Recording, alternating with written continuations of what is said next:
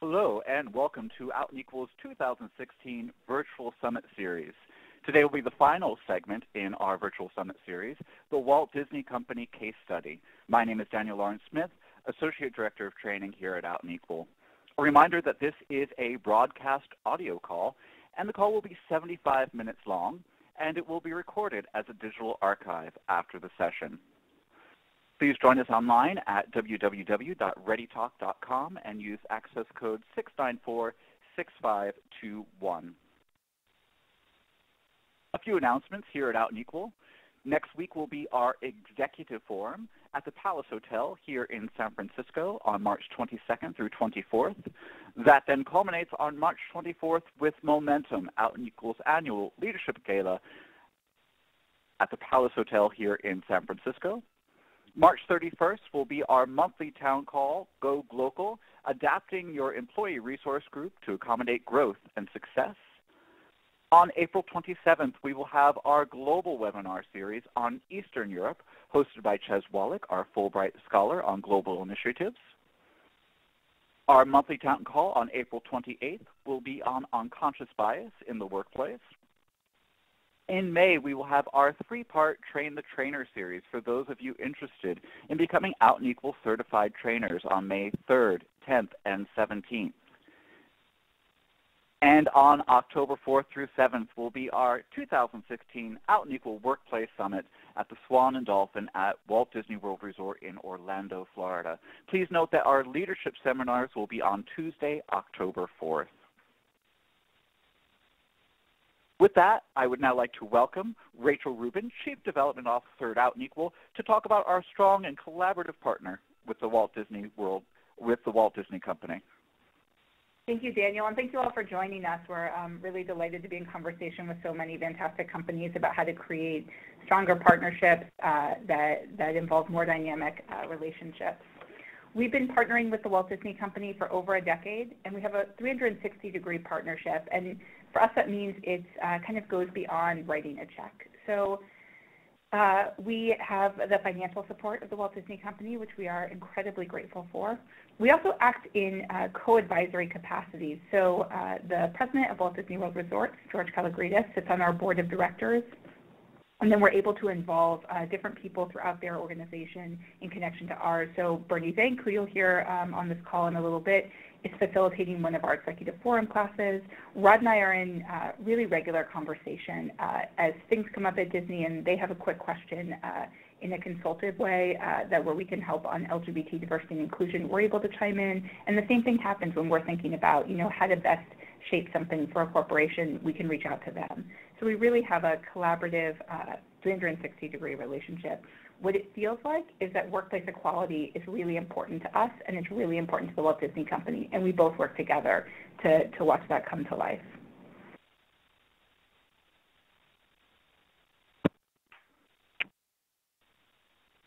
Great. Thank you, Rachel. And with that, we'd now like to turn the floor over to Bernie Zank.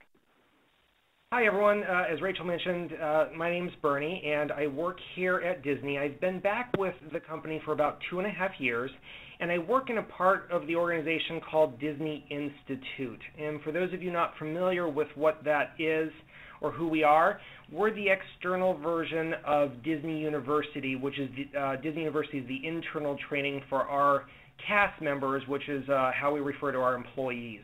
And so within the Disney Institute, we train others, outside individuals and organizations, on uh, Disney's approach to leadership, employee engagement, quality service, all under the umbrella of customer service.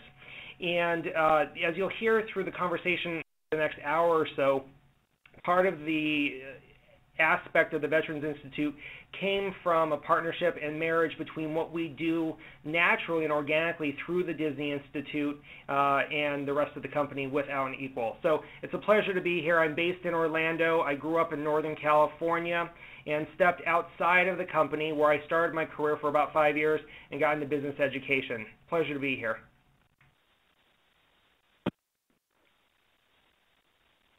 Great. And Rod, would you also like to take a moment to introduce yourself? Sure. Hello, everyone. Rod Wingfield, Director, Global Diversity and Inclusion at the Walt Disney Company. I'll get into a little bit more of what uh, specifically that means in relation to our work and my work uh, later on uh, on this webinar. Um, but uh, suffice to say for now, I'm, I'm, pleased to be on the call and thrilled to be presenting with Rachel and Bernie. And thank you, Daniel, for uh, moderating. Well, thank you all for your time and participation. We're so happy to have you on the line with us today. And with that, let's go ahead and show a brief video with some of the highlights from the Equality Institute you know, when we started this, our goal was between 200 to 250 attendees would be success. 250 would be blowing out of the water. We're happy to say we have over 550 in attendance with over 300 different companies represented. The Equality Institute was for the purpose of introducing people who may not have the option to go to the big summits in different places in the country to bring it closer to home to some of the southern states and some of the medium-sized companies. The goal for today was really to expose people to the best practices of Disney and the Institute and the work they've been doing, as well as benchmarking other companies that have great practices going on. I think it's great for organizations that are smaller to get exposed to some of the great strategies that are here, but then for those bigger organizations to come get revitalized as they go down their path for looking at LGBTQ equality and really get their people excited about the work that's been done and also work that still needs to happen by letting our employees know that we promote an inclusive and respectful workplace where you can bring your authentic self to work is critical to making sure our culture stays vibrant and our employees stay productive. It's really been a partnership and collaboration with Out and Equal, and it's been absolutely fantastic. We've learned a lot along this journey. It's amazing to see people like George get on stage and welcome so many different companies to this event to see the diversity of attendees has been phenomenal. While I teach diversity and inclusion, there's always so many great things, especially seeing the Disney Institute friends talk about their approach to communication styles, leadership, inclusivity, and caring. And I think those are some great things that I'll walk away with today. I'm hoping that people left today with the idea that I matter and that what I do matters. And they come away with one clear objective for how they can make a difference in their workplace. I'm coming away with new ideas, new things I can take back to my organization, and then a whole group of new friends that I can network with and stay in relationship with as we go forward. So just some of the highlights there from the Equality Institute. And with that, I will now turn it over to Rod to talk about diversity at Disney. So I'll just give a, a little uh, description of my role, and then that'll lead in set up the slide. So I work at the corporate headquarters for the Walt Disney Company, and I help lead programs and initiatives and build strategic frameworks around D&I um, that span the enterprise. So all of our segments, including Walt Disney Parks and Resorts, ESPN, the Walt Disney Studios, have their own D&I practitioners. My job is to look at the three primary areas of focus for us which are workforce, workplace, and marketplace, against specific dimensions of diversity, such as LGBT, and come up with strategic frameworks, programs, and manage relationships um, associated with those. So that's how Rachel and Selisse and all the wonderful folks at Out and Equal and I became so acquainted. In terms of these actual areas of focus, in terms of workforce, uh, we want a workforce that reflects our global customer, viewers, fans, and guests at every level. In terms of workplace, we want to make sure that it's inclusive and provides the opportunity for our people to contribute and develop their full potential. And then in terms of marketplace, we want to leverage that diversity to create content, products, and services, and also guest experiences that grow our business and engage with diverse communities. So a lot of my work also focuses on outreach um, and uh, that's a little bit of how we started the initial discussions uh, with Rachel on uh, this Equality Institute.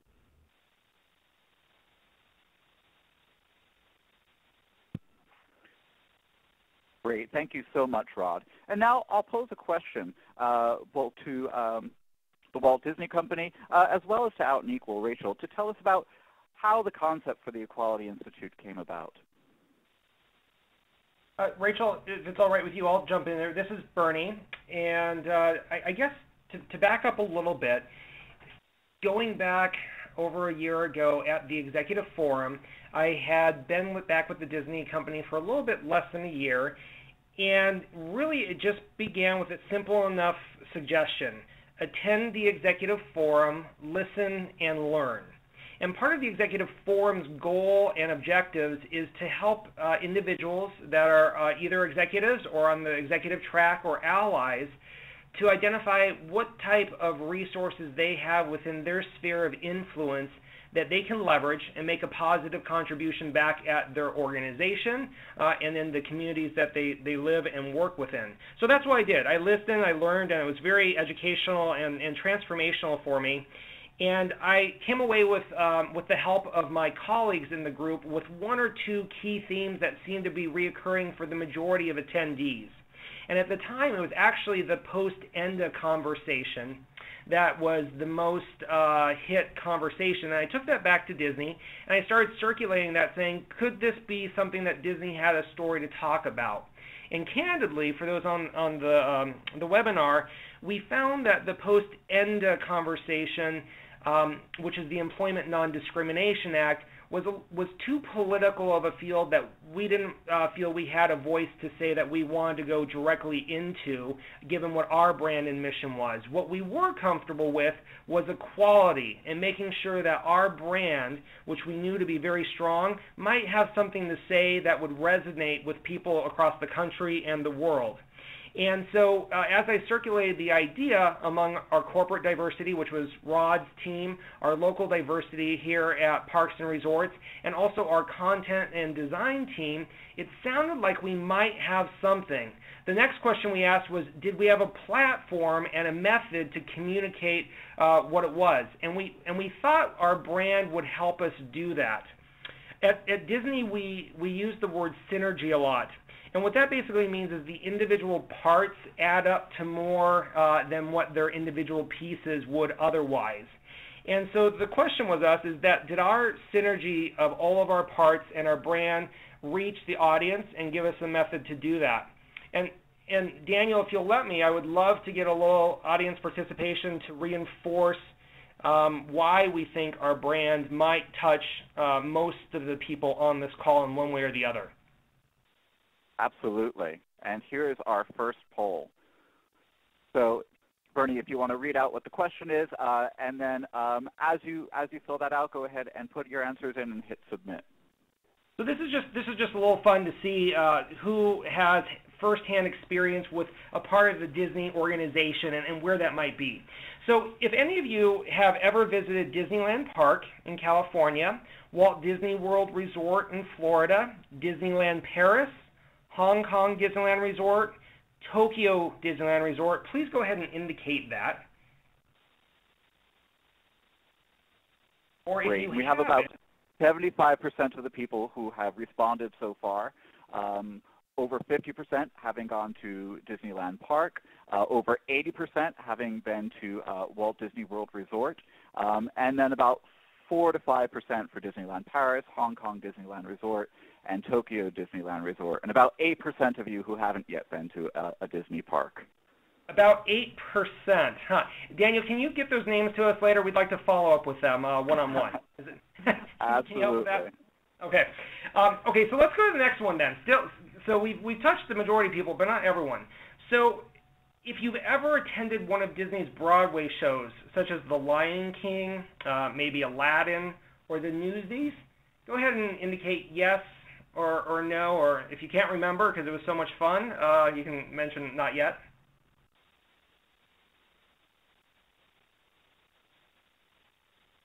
Okay, and we see the results coming in, in in real time. Again, about 75% of you have responded so far. And what we see is over 60% have said yes, whereas about 40% have said uh, not yet. All right.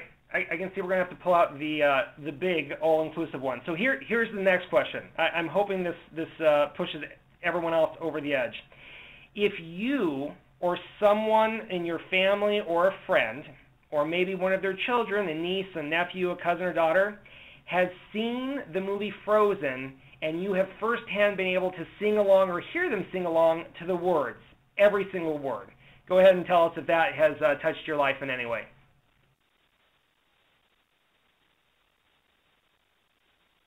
And as those results are coming in, we're looking at about 85% saying yes, so the overwhelming majority. Got it. All right. Well, so thanks for playing along there, everyone. I, I appreciate that. The goal there was to, to reinforce uh, our hypothesis was that Disney does have a strong brand and that it is our responsibility to be stewards and protectors of that brand and also at the same time to see if we have a message to to share and to use that platform in partnership with Out Equal that might that might help. And so the next question for us was if we did have a message and we thought we had a platform, how do we go about securing company-wide corporate support?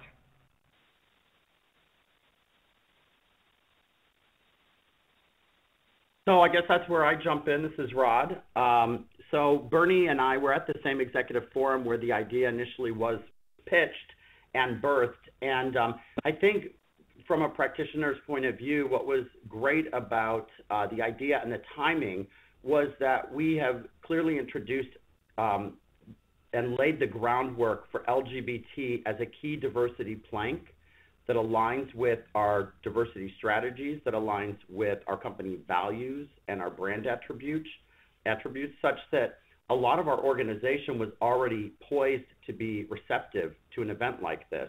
In fact, we've done other similar events in other areas, such as uh, the veterans space and uh, helping other companies and encouraging other companies to create their own veteran hiring programs based on some of the lessons learned. So what I experienced was actually uh, a very receptive audience at all levels within our company to the notion of doing the Equality Institute. And uh, we'll get into a little bit later some of the details around picking the location, et cetera.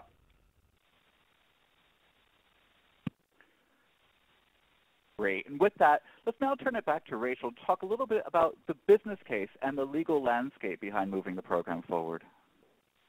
Sure, thanks. And, and this is really meant to, to level set uh, in case anybody on the call is not quite sure how we do this. So we talk a lot at Out and Equal that companies that do good do well. And so we're thrilled for this to come from an altruistic space, which, which it tends to from most of uh, our contacts that work in diversity and inclusion. But we know that at the end of the day, we need to make that, that bottom line business case to corporations that this is, this is going to be good for their business. So we level set and we talk about hostile work environments that 40% of lesbian, gay, and bisexual people have experienced a hostile work environment in the U.S., and 90% of transgender employees have experienced harassment, mistreatment, or discrimination on the job. We let people know that we've done a really in-depth analysis through our research institute of 36 studies and found that LGBT supportive policies and workplaces are linked uh, to greater job commitment, improved workplace relationships, increased job satisfaction, and improvement, improved health outcomes. So we're seeing this that, that employees that are LGBT, that feel safe at work, that feel good about what their company is doing, are more productive employees. Daniel, can you uh, can you go to the next slide? Great. Uh, this is a map. So, and, and it's always, you know, I, I kind of uh, think that people are, are not totally uh, sure about where we are with laws in this country right now. So we hear a lot about marriage equality passing, and that is fantastic. But there are still 31 states across the country that lack protections for LGBT workers. So that means that in those states, you can be legally married on Saturday and then legally fired on Monday for getting married on Saturday. So, you know, and when we talk to companies about what that means for them and their company and their employees is if you take a company that has really great diversity and inclusion policy and, and they have a non-discrimination policy and they're not going to fire anyone for being gay, but they have a partner and that person's partner doesn't work for such a great company and they're in a state where they don't have any protections and they're in a state like most states in our country where marriage uh, records are public documents marriage is not, not necessarily available to them. So we'd like to kind of remind companies of what's going on. If they're in any of those states that you see on there that are red where, uh, where there are no protections, uh, kind of keeping that in mind, level setting with them, letting them know that, you know, we have marriage equality, we've made a lot of progress, but we're not done. We need your help moving things forward. You move to the next slide. Thank you. So we look at the social and legal landscape. Uh, you know, as we um, as we look at kind of as gay marriage and workplace protections are happening, as we are gaining momentum um, in the in the social space where LGBT is becoming kind of more and more people are coming out, it's part of more and more families. We're seeing a lot of progress, and we're also seeing a lot of growth in LGBT consumer purchasing power. So this is a huge market um, when you look at how you want to do recruiting and uh, becoming an LGBT employer of choice in the midst of you know a talent war in your industry. This is something we think you need to do. And then we look at the, the LGBT marketplace and, and how much um, is there in both B2B and B2C business. And then implications for employers. So of course there are legal compliance issues, there are benefits and tax issues, there are talent acquisition strategies a lot of multi-layered um, parts of this business case that um, that there are to consider and to see that yeah it's nice but also it's it's really important and it's gonna your business is gonna be stronger when you have strong global diversity and inclusion policy. So Out Equal, we are the world's premier nonprofit uh, leading LGBT workplace equality work and we do that through partnering with companies on everything from kind of the, the getting down to the ground on those legal benefits and taxation issues to, to helping out with talent recruitment strategies, to figuring out how to, how to bring these strategies global. In, with, with Disney Institute, we had a great chance to partner with the Walt Disney Company's kind of best practices in leadership, employee engagement, and customer service. Take our uh, experience in leading LGBT workplace equality work and mold those together. And just like Bernie said, kind of one plus one equaled three when we put those those those two things together and, and had some really great synergy. Great. Thank you, Rachel. And you did spend some time talking about marriage equality in the United States and the fact that we can now be married in all 50 states. Uh, but while there are still uh, marriage protections, there are many, many states where you can be fired simply for being lesbian, gay, bisexual, or transgender. And with that, on the theme of marriage, we do have another interactive poll. And what we're asking is, if you are in a relationship, how long have you been with your partner or spouse? And go ahead and answer and then hit submit with that. And again, we'll be able to see those results in real time. We have about half of you having responded so far.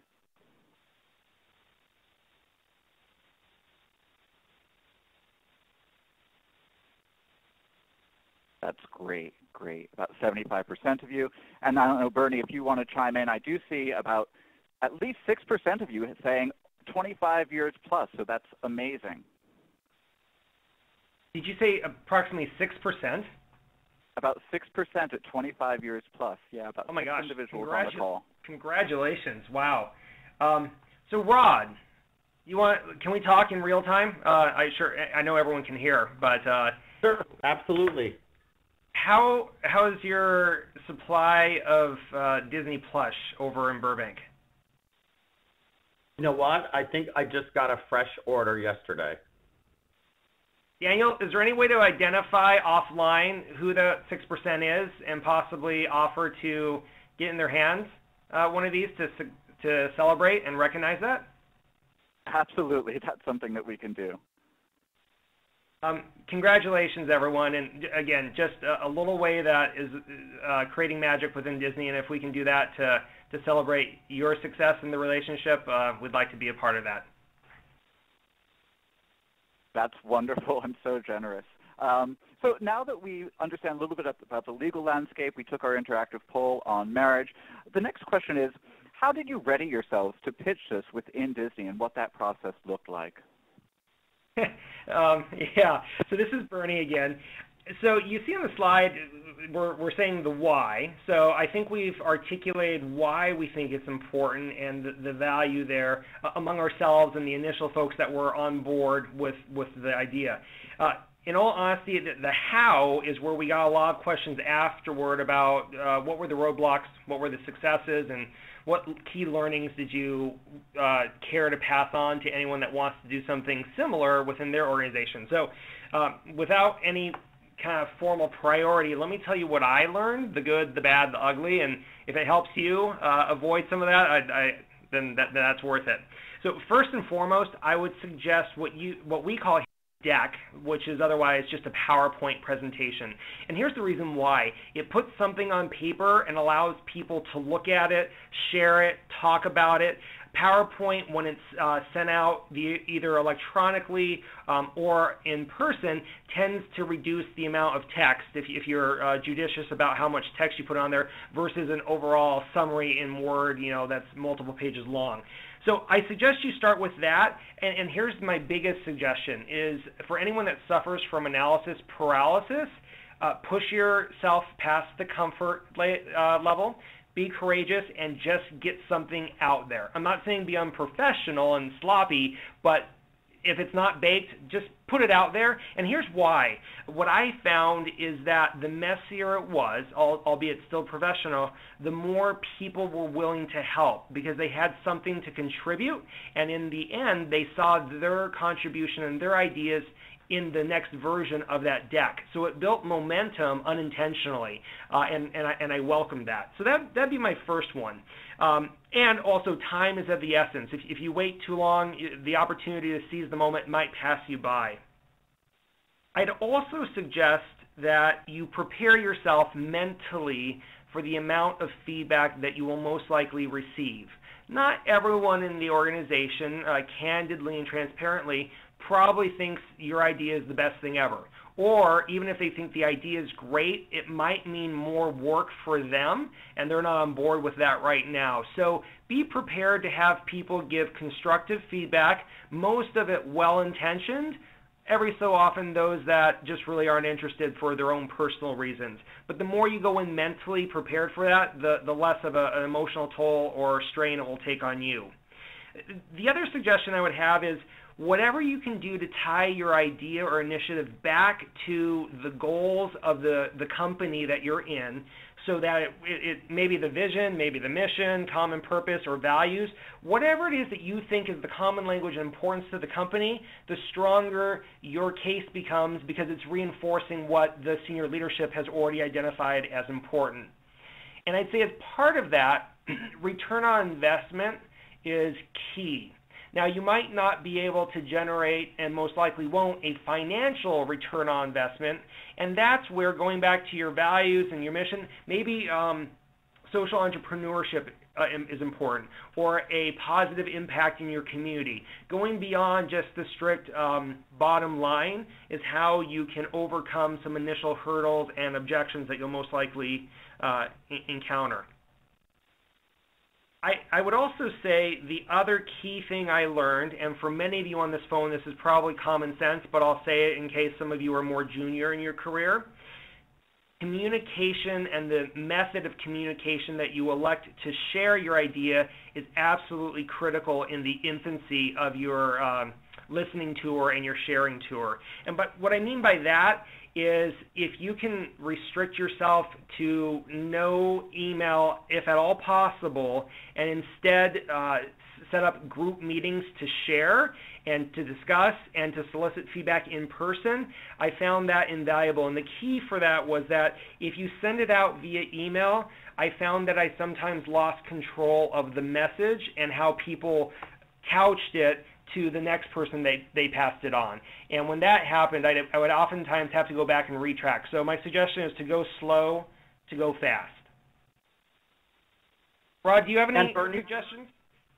Yeah, if I could just throw in there because uh, in terms of kind of getting it approved and getting it through uh, all the, the layers as you described, my my work was slightly different. You were focused a lot on what would that content look like, what would the business case be, I was pitching this to stakeholders uh, across our corporate offices and with uh, other segments of the company, um, both to participate in either content development um, or even just to attend the event. Um, so we have LGBT employee resource groups at the company. We wanted to leverage that mindset in the curriculum development. Um, but really, what this also forced us to do was to get uh, speedily handy at describing our company's history of support around LGBT. So everything from you know 10 years now uh, in a row, scoring 100% on the HRC Corporate Equality Index, our global non-discrimination policy that's inclusive of sexual orientation, gender identity, providing same-sex domestic partner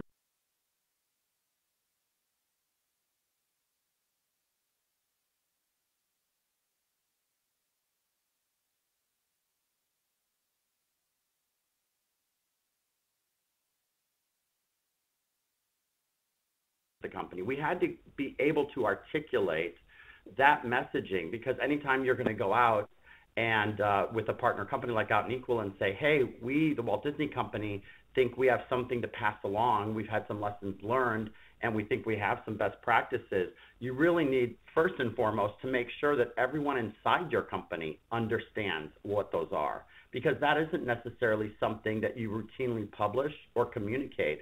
So you might be surprised at the amount of executives or other key stakeholders, whether it's from legal, marketing, creative. You really need to start with the basics when you start these conversations to get something like this approved. And then once you tell them what the value is, and as Bernie said, what the ROI is, and especially what I find is if you can throw a challenge to them about how they can participate and either solve a problem or add content to it, it kind of turns them into active engagers. And uh, it, it, you know, we ended up having uh, very, very, very little in terms of, of actual um, uh, pushback about doing the event. Now, what you'll appreciate at a company like Disney, we did have a lot of, was a lot of opinions about how it looked creatively, every word that was on the page, the font size. And uh, Bernie and I, as well as Rachel, would have plenty of conversations along the way um, to, to, to kind of uh, uh, get ourselves through the process of those kind of layers. And uh, if you're doing a program like this at a company the size of Disney, um, even if it's smaller, I bet you'll encounter a lot of opinions along the way. So be prepared for that. Uh, Rod, I couldn't agree with you more. And for those of you uh, that are, I, see some of the comments that are coming through, and I, I love them. Thank you so much. This is this is great. Uh, two two things uh, based on what I'm seeing coming through. I suggest forming a partnership or core working team. So Rod was the value of having Rachel, Rod, myself, and a couple other key folks within Disney that really were committed to this vision and idea of the Equality Institute was that uh, we were we able to use each other as soundboards and and litmus tests, saying would this resonate or or not. Uh, and I, here's what I would suggest: be as as uh, critical and intentional about creating that core group as you would about bringing in your next best new hire into your department or organization. They can either spell the success or lack of success uh, because that core group is really kind of your, your board of directors in the infancy, kind of an entrepreneurial thing. The, the other thing I would tell you is that uh, uh, Rod was joking and laughing when he said about all the feedback we got about fonts and this and that we also encountered, at least I encountered, quite a few initial setbacks where I thought at multiple points in the process the initiative was going to be closed out and shelved. And uh, if I hadn't had the core working team uh, to rely on, I, I, think that might have um, maybe uh, made me uh, less resilient, if you will. So if you go in there with the mindset that it's a team effort and that also you are going to have some rough days, but it's worth it for the right reasons, I, I found it to help uh, significantly. Just one more, two more comments I'll make about the, the groundwork that we laid. One particular item was even in the selection of where we were going to hold this First Equality Institute. And we very purposely selected Orlando, Florida. As you saw on the map, the heat map that Rachel shared earlier, the southern states are all red states. And we felt like we need to take that message um, to HR, business executives, and working professionals in areas that don't have protections to help them build their business case, even for policy changes within their company, um, which oftentimes are the places you kind of have to start first on this journey, is considering what kind of policies you already have in place to protect your employees and to make them feel like it's an inclusive environment. So George Kalogridis, the president of Walt Disney World, was very mindful to introduce the concept of the Equality Institute and the selection of the location amongst our diversity council uh, here in, um, Orlando, in Orlando, Florida. And diversity council is made up of various executives, uh, mostly at very senior levels within the company, but not exclusively, who comprise, com- comprise a body of folks who help to lead and guide the strategic visioning around our diversity initiatives at the company. So George really wanted them to understand why we would be doing this event in a state where it might garner us some negative publicity or negative feedback. And everyone, uh, by the end of that meeting, was on board and supportive of doing this. And um, and we really also have to thank Rachel and Out and Equal for lending so much data to us um, that was used in the building of these business cases and these pitch decks that we would take around the company to help um, socialize the concept of Equality Institute and, and gather support. Wow, thank you both. It sounds like a lot of effort and insight was put into just bringing this program forward uh, on behalf of the Walt Disney Company. Rachel, I'm wondering uh, if at Out and Equal there were any early concerns about such a, a big project with an external partner uh, and how Out and Equal decides to devote resources to projects like this. Yeah, that's a, it's a great question. Um, you know, we it, we looked at, we have very limited resources. So it's, a, it's always a tough call because sometimes these are great projects because it helps our expand our reach with, with our very small staff of 20. We're able to do a lot more when we're in partnerships. And sometimes we have limited resources and this is of course our, our staff time and all of that. And so it, it has to be the right fit. Uh, and this just was, it kind of hit every marker we had. So what, a lot of it was, was mission centered, is that this was going to get the message of workplace equality out to, to more companies so that they would go, be able to go back to their organizations and really, um, really invest in something that would be meaningful. Uh, like Rod said, we have a southern state strategy here at um, Out and Equal, so it's really important to us to be focusing as, often as we can and prioritizing as often as we can in southern states. So that it was held in Florida was really critical um, and important to us. And then we have a really, as you've kind of heard throughout this, um, trusted relationship with Disney, where we felt like, you know, these are these are big projects, but we felt like we had the right partners in place to have honest conversations about intellectual property, honest conversations about logistics, um, all of that, and just making sure that we felt like we had long-term trusted partnership uh, with everybody at Disney, which which we did, and, and and it really went swimmingly. Both the event, which you've heard a little bit about, but also the process. Uh, once it got greenlit over there and greenlit over here, uh, everything went just so smoothly. That's great. Thank you. And we've spent a lot of time talking about the planning process and obviously the wonderful partnership between Out and Equal and the Walt Disney Company. And now let's actually talk about the Equality Institute itself. Uh, thanks, Daniel. So for those of you that weren't able to attend in person or just saw the, the brief video, uh, let me back up a little bit. This is Bernie and explain what our vision was and how we pitched the ideas and where that where that idea came from. So the, the great news is when when I heard the themes that were important within and Equals Executive Forum, I had a model already in mind. It was a previous success that the uh, company, the Disney company, and Disney Institute had done called the Veterans Institute. And the Veterans Institute was all about taking the learnings that Disney had based on a commitment our CEO, uh, Bob Iger, had made a few years earlier about hiring returning veterans and taking those learnings and turning it back out to the wider population so that other organizations and companies could make as uh, easy and smooth a transition for the returning veterans to their organizations as well. So the great news is that Rod's team had already been working on that. Many members of the content team at Disney Institute had already been working on that internally. So we rebranded that format into the Equality Institute using Out and Equal as our content expert for the legal landscape and the overall uh, societal environment, and the Disney Institute informed uh, using Disney's lens and information.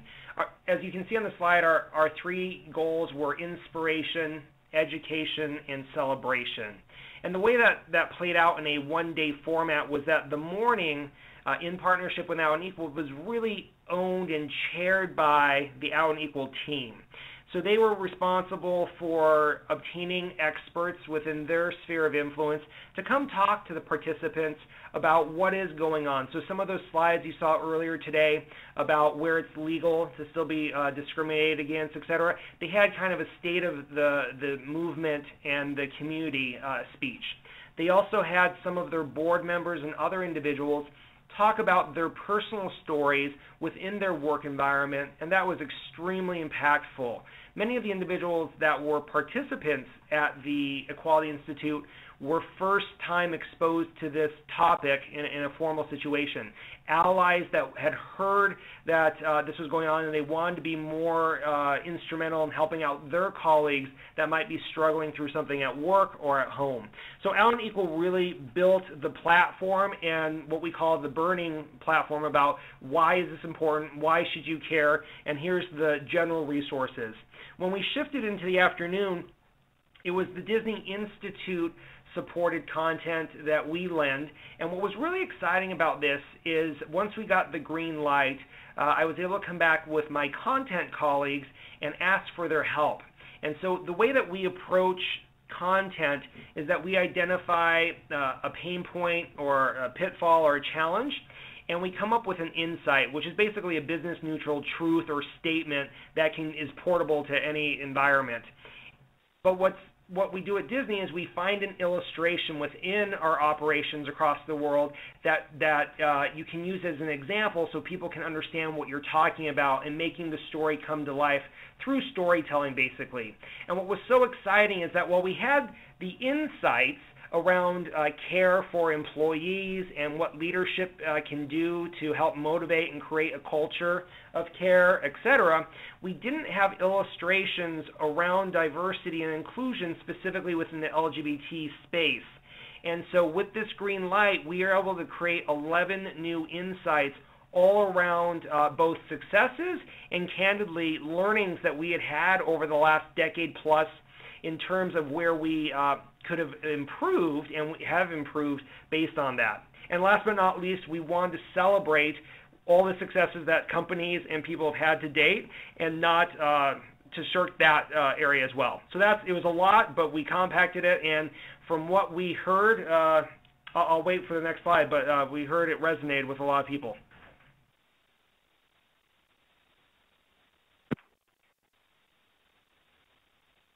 Great. And then looking at that, thinking about what the success factors were and uh, what were the successes in, in working together and how is success measured?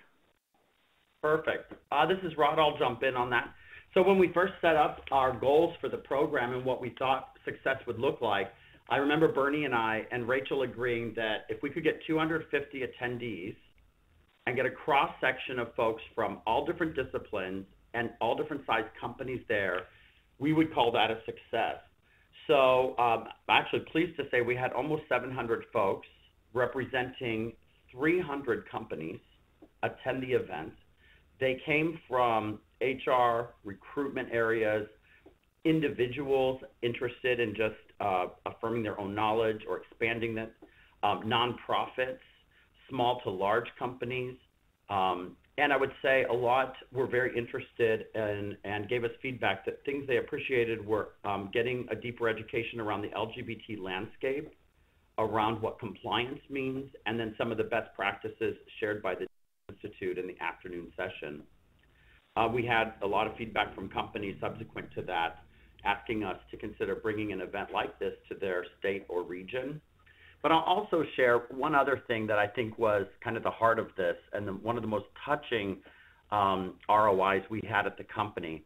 In the afternoon session, uh, there was a recent, uh, a recently um, uh, transition affirming cast member that offered to speak and, and to bring her boss, who she felt was very supportive of her transition, to the afternoon session. And Bernie, I know you're probably smiling because I remember all the scrutiny that garnered because, of course, we're putting an employee of the Walt Disney Company in front of 700 people to tell their personal story. So we wanted to make sure that cast member felt that it would be a safe and welcoming environment for her to do that.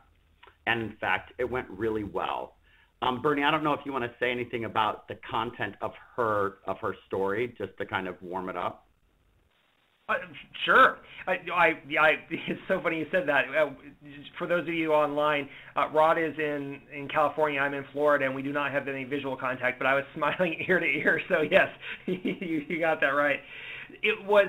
Here's the thing. So um, the ca- I won't use her name so she doesn't get inundated with Facebook messages and everything, but the, the cast member had recently um, acknowledged to her direct reports uh, her new name and uh, and transition affirming status only three or four weeks prior to coming here. So this was new. This was not something that could be looked back on.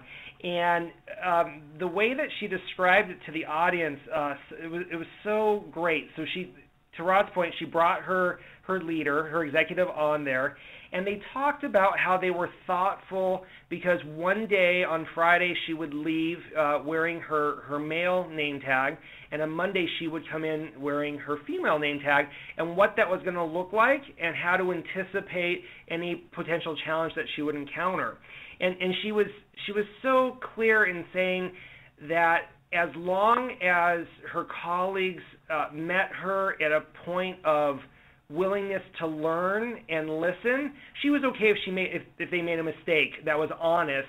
She she would be there right beside them. And I think what she said was she said, "How could I not give them the benefit of the doubt?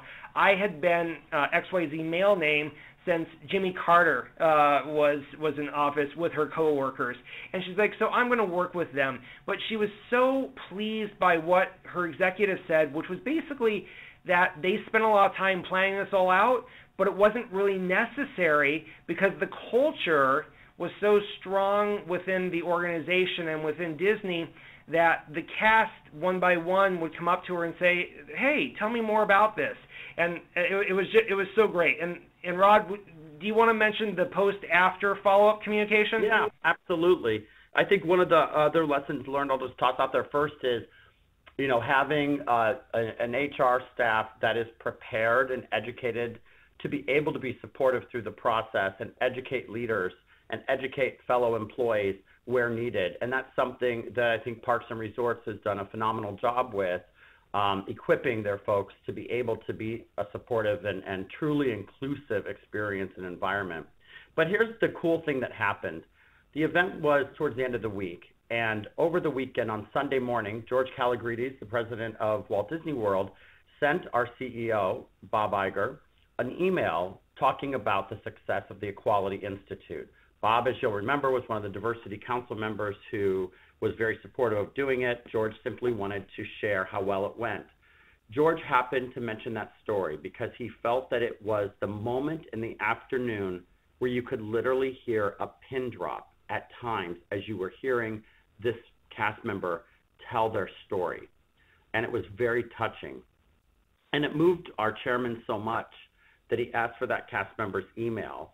And within a couple hours, delivered a message to that cast member about support and inclusiveness and how proud he is of everything that that cast member taught us and also wished her the best for anything in the future. And I just want to say it because I think it was uh, it was some of the best ROI we also got out of the event from our own employee engagement perspective. So you never know where the ROI is going to come from um, in, in doing these kinds of events. So I'm going to pass Right. it off to Rachel. I'm going to jump in on this just a little bit more, which is that we got a lot of feedback from other companies that were there that said that they have, you know, someone that's transgender in their company and they haven't known what to do and they feel like they know what to do now. And what was really powerful for me about that was that the, the way that it was set up was really this employee talking about her experience transitioning and her manager talking about what it was like to support her. And both of those stories were not about policy. They weren't about huge cultural changes that came from, you know, an HR office. It was a manager that had a moment to make a decision to support their employee, and they chose that moment. And it had a tremendous impact on this person's life, and I think that they, you know, she'll be at Disney forever. So Disney has a incredibly loyal uh, employee in her. And then it had this huge ripple effect at the event of so many companies being able to go back and say, oh, it doesn't have to be that complicated. This is just about supporting my employees, which is which is what I do every day and what I want to keep doing. So it really was a tremendously powerful moment.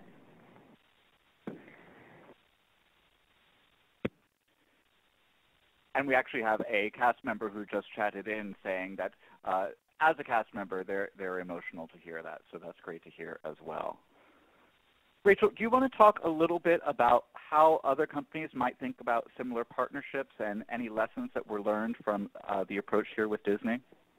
Yeah, you know, um, I joked about this. We did this um, same panel at Summit earlier, uh, or in late 2015, um, and I said at, at, the end that I hope that we're doing another panel at Summit in 2016, and I hope it's not with our friends at Disney, uh, because we, you know, we have a great partnership there. We want to be doing this with so many different companies around the world. Uh, what worked really well with this is that Disney had um, a program that already sort of fit something, right? They had their Veterans Institute, they'd done something like that, and it could it could pretty um, organically translate into something with an LGBT diversity and inclusion lens. And so I'm hopeful that kind of as you hear this process, as you hear how much Disney got out of it, as you can see the impact it had um, nationwide, that you can think of a, a, a program at your company that feels like a fit that, that maybe could just add this extra lens to it and have a similar impact. And we would like to be partnering with, with you on it. So um, I think our contact information is in here somewhere. Certainly you can reach out to Daniel, but, but, but if you think of something like that, please reach out to us.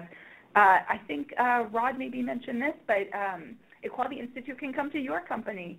Uh, so uh, if you're interested in that um, and bringing this either to your company just as an internal event uh, we're, we're set up to do that, and we'd love to be, you know, we've created this phenomenal day-long program, and, and we would love to execute it more often. So uh, please reach out if you're interested in that opportunity. And if you're interested in hosting something like what Disney hosted, which was Equality Institute, not just for your own company, but for the region and, and companies around you, uh, please reach out too, because all of those are, are big possibilities. Great. We would like to open up some time for Q&A. So if you have any questions or comments at this point, please feel free to use the chat box in your lower left-hand navigation. We do have a few that have come in as we've been on the call, so I'm going to go ahead and open it up for that. And our, our first question is, uh, is there an Equality Institute program that's coming up in the future? Well, how timely. So Rachel and I have been in discussions uh, the last several months, actually, um, not only amongst ourselves, but with some of the attendees from the last Equality Institute who have voiced an interest. And uh, we first wanted to start with what do we think that opportunity is? And uh, both of us uh, uh very much agree, uh, as does Bernie and our executives, that this opportunity is something we should think of globally. So um, we are right now in the middle of, of pitching the opportunity to some of the com companies who were interested so they understand what's involved in producing and putting on an event like this. Obviously, we have to be mindful of what needs to change about content and curriculum depending on where you host an event such as this in the world. Um, and uh, I'm pleased to say that I think uh, probably within the next couple of months we'll be able to announce the uh, exact location and date for our next Equality Institute. I hope I'm not going too far out on a limb there, Rachel, to say that. No, you're you're right. I'm right with you. Great. Anything to add to that, Rachel? Is there anything? Nope. I think you I think you got it. Cool. Daniel, back to you. Yeah, great. So our next question is talking, if you could explain a little bit more about the content of the Equality Institute and what was presented. Brittany, do you want me to start with morning and then you can go into the afternoon? Perfect. Okay, great. So the evening before the Equality Institute, we hosted a Building Bridges training, which was uh, hosted by uh, Daniel Lawrence Smith, who you all have gotten the chance to hear, which is sort of an LGBT 101 training. Uh, we wanted to make sure everyone was starting the day with the right terminology, with knowing kind of a, a base level. So we started with that in the morning, uh, Out and Equal sort of took the lead with the content. So we had uh, different people telling their stories about what it was like, what it, what it was like to come out at work, and what their career arcs have been being out at work. Uh, we we felt like uh, it was important before we got into you know all of the details of how to make this happen that people really connected with the emotional why to make this happen. So so we wanted to set that stage for people. So people told their stories, and then we had a panel with two um, LGBT executives at two different Fortune 500 companies uh, who were sort of a fireside chat. We're in conversation about big things that came up from them, who key, key stakeholders were. They were both people that turned around companies that they were at. So they were at companies that were not doing phenomenal work on LGBT diversity and inclusion, they came into their company and they and it was really a 180. And so they were able to talk about what it's like to start from scratch or to turn something around. It was it was very powerful. And then we ended our morning with um, a uh, kind of state of the movement. So we talked about what, what, what's going on in the LGBT equality movement nationwide. What are some big issues that are coming up? Uh, again, to, to really give people a full picture of, of the movement and what we're talking about here. And then from a Disney Institute perspective, uh, the broad themes that I would say that we tried to do, again, using the leverage of the content that we already had in place with LGBT illustrations was we showed uh, through illustrations and stories and content uh, how the Walt Disney Company has built a model of LGBT cultural inclusivity. And so this goes back to what I mentioned earlier that we actually created 11 new illustrations specifically for this event. And what was really important to our diversity and inclusion partners here in the parks and resorts is they wanted to make sure we did not come across as braggadocious or overly confident. And what I mean by that is that while we've we've definitely achieved a lot and we're very proud of some of the accomplishments we've had, um, we're not perfect, and we recognize that, and we've we've we've had mistakes, and they wanted to make sure that we were transparent in that because otherwise. What can be very daunting if you yourself are in a, an organization that's nowhere near this, uh, where do I even start? It can be overwhelming. So let me get, I guess the best way is, let me give an example. If you go back a number of years, uh, from a, a human resources and an employee or cast member benefits perspective here at Walt Disney Company, one of the most highly coveted perks or benefits is something called a main gate pass. And the main gate pass allows you and uh, your designated significant other at the time uh, and some and guests to get into our parks uh, across the country and different spots in the world. And it's a lot of fun. You get to go play in the parks and all this kind of great stuff in an effort to be responsive to feedback from our LGBT cast members uh, a number of years ago, we allowed them, uh, which we thought was you know advancement, to identify their domestic partner as the recipient of another main gate pass, which extended to them all the same benefits, which was which was very progressive at the time. Here's where we messed up. Um, we required the the cast member to identify uh, who the other person was. And when that other person came in, if they happened to be another cast member, which is very common, we have about 74,000 cast members here in Orlando, so that likelihood was that um, more than you know a good number uh, might be dating or in a relationship with someone that was already a cast member, and they had to walk in and say, I would like my main gate pass, and I would also like this other person's main gate pass and the person behind the desk would say, well, what's your affiliation with them? Um, we need proof that you're supposed to get this. And in essence, we made them come out in that moment uh, completely unintentionally, even though it was the right thing that we were trying to do. So we quickly changed that, but we put that out there to say that you will you will make mistakes. But just to go back to our cast member um, who was on stage at the Equality Institute saying, as long as it's with the right intention and you honestly are willing to learn and take feedback, uh, we found that everyone, uh, for the most part, was willing to forgive us and move forward and help us get better. That's great. And this is Daniel, and I know I, I attended the Equality Institute, and for me, one of the great content pieces was hearing um, about some of the work of ESPN and all of their work uh, in the ally space, uh, both their ally commitment letter and seeing their video on that and really seeing uh, the, the, support within their company in terms of uh, the role of allies and how that was very visible. So all really great stuff.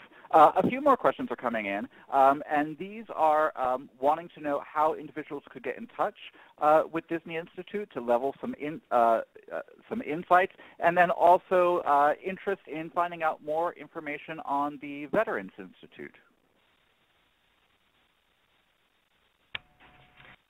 So, uh, Rachel and Rod, let's we can figure this out in real time. If it's here's my thought. If it's for Equality Institute type content um, about the Disney Institute created, I think that would go through you, Rachel, or someone at and Equal. Is that correct? Yep, I, I think so. And then I think all the other stuff is through Disney Institute, right? If, if it's if it's pure cultural uh, affirmation or change, yes, that would be Disney Institute. And the best way to go through there is uh, DisneyInstitute.com is our website, and we have a link that can be general. Or if someone wants to uh, provide their contact information through the, the chat feature, uh, Daniel or Rachel, you can always pass it on to me. I can help uh, facilitate that if need be. Happy to do so, yes. Um, there, there's one more question which came in, which which I thought was a little amusing, and I, I went and quickly Googled it as we were talking here. Um, and it, it, it, it's something Rod had mentioned, and that's whether braggadocious was in fact a, a Disney term. But I Googled it, and it, it's a word, Rod. So congratulations on the extensive vocabulary. Uh, was that me or Bernie? Oh, was it, was it Bernie? Okay. Bernie's the one with all the extensive vocabulary. That that will definitely be my keyword for today. Um, a question's coming in and saying uh, it'd be interesting to hear if there were any barriers uh, that your teams had to overcome to move this forward and what that looked like. Yeah, you know. I, Go ahead, Rod. So my my story is sitting down with our internal and external communications folks, and um, uh, this was about uh, five months out from the Equality Institute. Was held in July, so maybe this was like January, February timeframe. And we were just reviewing some of the concepts and directionally where we were going, etc. And I'll never forget it. The head of external communications looks down at the presentation I put together and says, "Oh wait, you want to do this this year?" And he looked uh, like dumbfounded and uh, the head of internal communications uh, kind of gave me a little wink and, and, and said to him, well, listen, we are trying to be a little more nimble here at the company. And uh, an all way of saying that typically when we do these types of events, the planning for it starts sometimes two years out or longer. So, um, but the fact was, this was a burning platform. It was uh, about equality in the workplace. And you guys remember there was so much happening around this issue and around marriage at the time that it was very relevant and we had to take advantage or felt like we had to take advantage of the overall kind of increased attention to present a program like this. So I would just say that was one of the roadblocks we, we did have to overcome was making sure our key stakeholders internal who are just trying to make sure that we all present the best Disney we can felt comfortable that we were kind of jumping ahead, so to speak, in terms of a shortened timeline to put together everything. Great. And then we just, just have a comment here, and uh, earlier you had mentioned the importance of not doing all of your collaboration through email, but instead having face-to-face conversations. And John is just saying that that's really important because that aspect leads to telling stories and making it more personal within that professional environment. So just back up for, for that notion there. So with that, I'd like to turn it over back to the team to talk about uh, next steps and any closing comments that you might have. Sure. Can I just make one, one comment? Um, someone just wrote in a question. Um, did we receive any feedback that the registration fee was prohibitive for some? So I just want to clarify that there was no registration fee. The conference itself was offered complimentary, and that was very purposefully done um, because we had talked about maybe just collecting a minimal fee because you know if, if you have to pay a little bit, you tend to show up, and we wanted to make sure we didn't have a lot of attrition. But at the end of the day, we felt it was the right thing to do to position this as an event that the only out-of-pocket people had was if they needed to travel or if they needed an overnight stay. Great point. A really great uh, resource for all of the attendees with that. So thank you for sharing. And Daniel, I see you, uh, you're on next steps. So is that something that you might be able to reference in the webinar right now, or the, the, the tips and tricks, or is that something that uh, I should reference in terms of the email that they re will receive and have? Yes, so within the trips, uh, tips and tricks document, what we can do is include that in the email follow-up, which will go out after the session. So that will include the recording link as well as that document. And, and for everyone uh, online, just so you know, uh, one of the things that we found at Disney Institute is if you can encapsulate some key learnings from the talk and next steps, uh, we found that that's helpful. So we created a, a two-page handout in, in partnership with Out Equal that talks about the first 10 steps. So when you get back uh, to your organization and you think about where do you start, how do you do it, it helps guide maybe the first 10 steps that might uh, get you on that journey. And then the flip side is it really just reinforces what you've seen on the slides in terms of what are the areas of focus in terms of diversity and inclusion for, for the Walt Disney Company, what was our journey like, and why it's important to build and how to build that burning case. So that would be my, my offering to you. If it's helpful, uh, uh, I wish you uh, good luck and speed on that. Uh, and then I would, I would encourage and reiterate what Rachel had mentioned earlier. If you find an appetite within your organization to in some way partner with and Equal, uh, I, I would encourage it wholeheartedly. This particular project the Equality Institute was in addition to my day job running our professional development courses. This this was not on anyone's radar within my department or organization, and so uh, it was a it was a labor of love, which uh, was absolutely fantastic. But one of the benefits personally to me was beyond growing my own uh, network and knowledge the, uh, to something that John had mentioned in one of the comments, the, the network within the company. So Disney is a really big organization, and I'm sure many of you work at large organizations too. I had uh, the opportunity, and I, I, I needed to go meet with individuals that I would have never met with before. So the fact that Rod and I are kind of, you know, teasing and back and forth here. I don't think that would have ever happened without this, and uh, it's it's just been truly uh, fun and uh, growth opportunity for me. Rachel? Thank you so much for saying that, Bernie. And, and that's our hope too, is that people, um, that the, the, corporation is benefiting, that the, the movement is benefiting, and that uh, the individual leaders that we're working with are benefiting. So I'm, I'm really delighted to hear that. You know, we hope that you'll reach out uh, to talk more about partnerships and, and how we can be building this and taking, taking the Equality Institute to you, but also uh, creating new external programs that, that can really be part of your you know, global diversity and inclusion flagship, uh, and, and also uh, spreading this really important mission of LGBT workplace equality. Great. Well, I want to thank each and every one of you, Bernie, Rod, and Rachel, for sharing your time and your insights today, not only in making this presentation possible, both through our virtual summit and at the 2015 Out and Equal Workplace Summit, but for all the many efforts that went behind making the Equality Institute uh, a possibility, and very excited to see how this is going to continue to move forward. We also want to thank each and every one of you on the line with us today for your time and commitment. A reminder that this call will be recorded and available as a digital archive afterward. And along with that, we're going to include uh, that tips and tricks handout.